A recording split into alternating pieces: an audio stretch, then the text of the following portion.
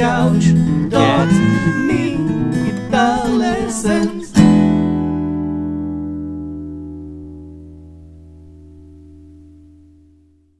There, Lick and Riffers! Welcome back to yet another awesome guitar lesson here on Lick and Riff, in which I'm going to show you two more awesome guitar chord solo progressions. Okay, by two more, I mean that I've already made one lesson on two awesome chord solo progressions. You can watch it after you finish with this one.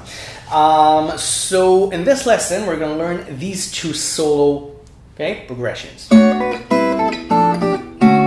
you can do it okay, anywhere you want? And lead into your choice of major seven chord. Okay, um, I'm gonna break it down for you. The second chord progression actually goes upwards, goes like this. Right? Uh, which again leads into any major chord you wish. You can start it anywhere. Okay? Okay? You can start from anywhere and go anywhere. That's the beauty of chord solo progression. Okay, so uh, before I break it down for you, I want to thank Skillshare because they're giving you two more months of free premium access to their courses. They have music courses as well. They have piano courses, they have ukulele courses, you have uh, guitar courses on Skillshare. Also, uh, you have composition lessons, you have theory courses, you have music production, mixing, mastering courses, electronic music production courses, vocal training courses for those of you who want to sing. But they also have tens of thousands of courses that are non music related, like um, photography, video editing, graphic design, marketing, uh, financial planning, creative writing, anything, okay, painting, drawing, anything you can think of, they have courses for it on Skillshare. So click the link below in the description and go grab your two months, two full months of free premium access to all their courses. Okay, when you watch the courses, two months just fly by. So I'm warning you, this is very, very addictive. But you're learning, and uh, what's more fun than learning via video? So uh, thank you, Skillshare, for offering Lick and Riffers uh, your courses for free for two uh, full months. And um, what can I say other than go grab it right now? This video will still be there when you return. So, for those of you who just came back, welcome back. Let's start with okay the first uh, chord progression. Okay, this is basically a minor seven chord moving around with an added ninth. Okay, which gives it a jazzy sound. But all it is is a barred finger. Okay, with the little finger just adding one note and taking it off.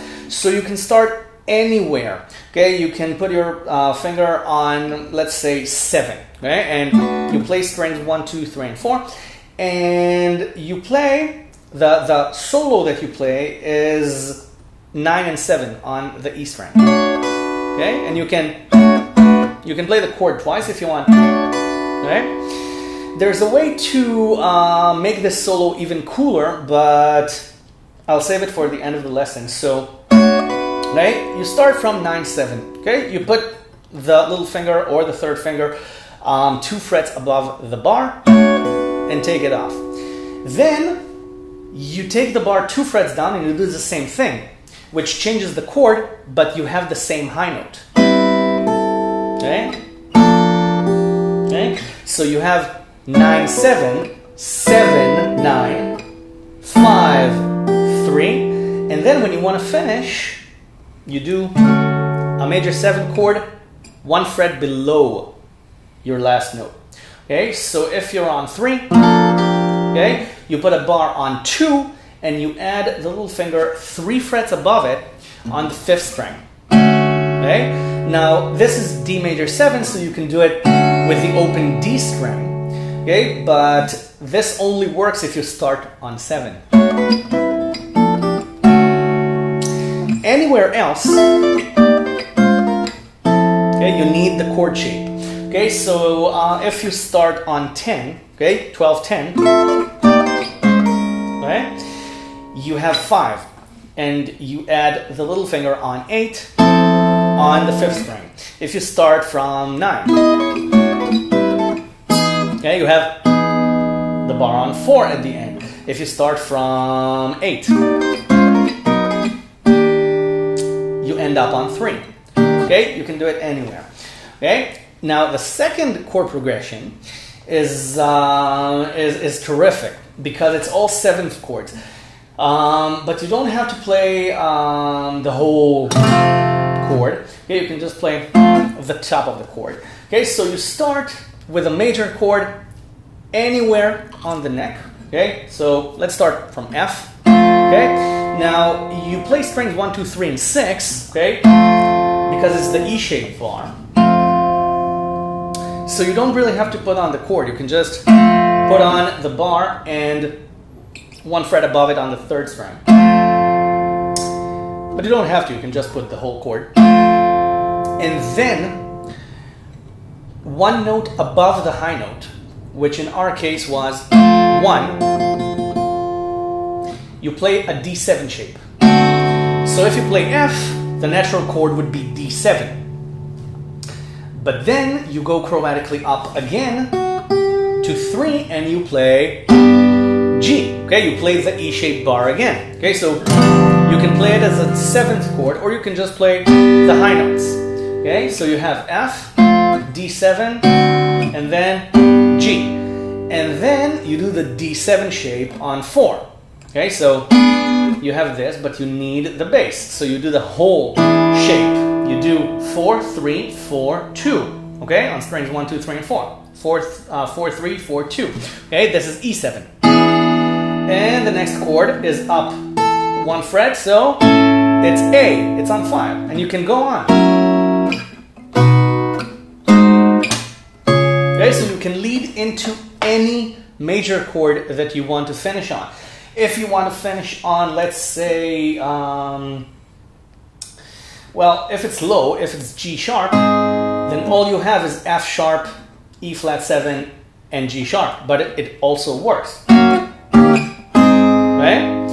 And it's the chromaticism on the high note that works the magic here. Okay, it's the glue that connects everything together, the whole soul. Uh, if you want to finish on C, you can start uh, from F sharp if you want.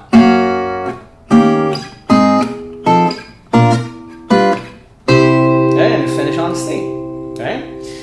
It's uh, just remember that it's an even number of frets below it. Okay, if you're on C, then you're on 8, so you can start from 2, you can start from 4. Okay? Okay, got it? That's the chord progression.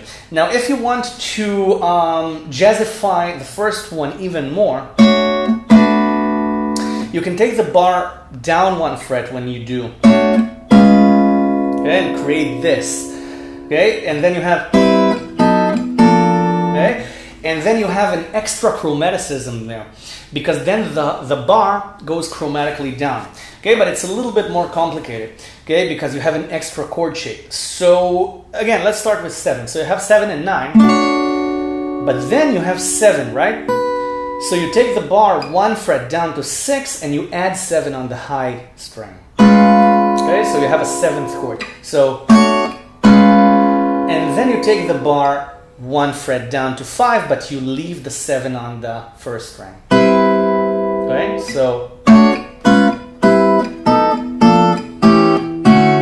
Okay, now this uh, makes it a little bit more sophisticated, and some of you may not like the way that it sounds, but that's the way to go about it. Okay, so. Ah, okay, it's confusing.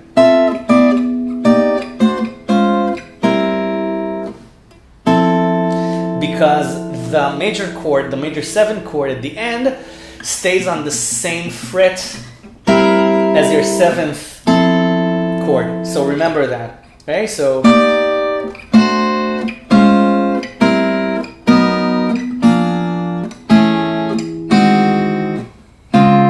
Okay? So you go and grab your two full months of free premium access to Skillshare to tens of thousands of courses. Click the link below in the description. thank you very much for watching. Thank you Skillshare for uh, offering Lick and Riffers your courses for free. And I will see you the next lesson. You go practice this and bye for now. Enjoy.